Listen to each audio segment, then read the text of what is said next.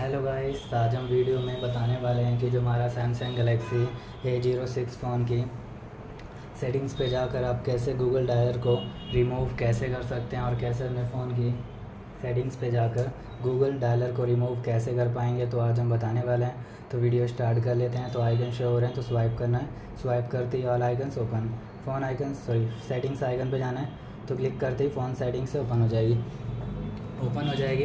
तो आप कैसे गूगल डॉलर को रिमूव कर सकते हैं? सिंपली आप देख सकते हैं कि सेटिंग्स आ रहा है। तो आपको ऐप सेटिंग्स पे क्लिक करना है क्लिक करते ही ऐप सेटिंग्स से ओपन हो जाएगा।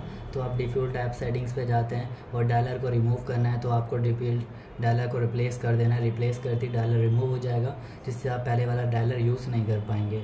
तो इस तरीके से गूगल डॉलर को रिमूव करके आप हटा सकते हैं रिप्लेस भी आप कर सकते हैं। तो आपको वीडियो अच्छी लगी तो लाइक एंड सब्सक्राइब करें। तो मिलते हैं अगली वीडियो में। थैंक यू वीडियो शेयर करें।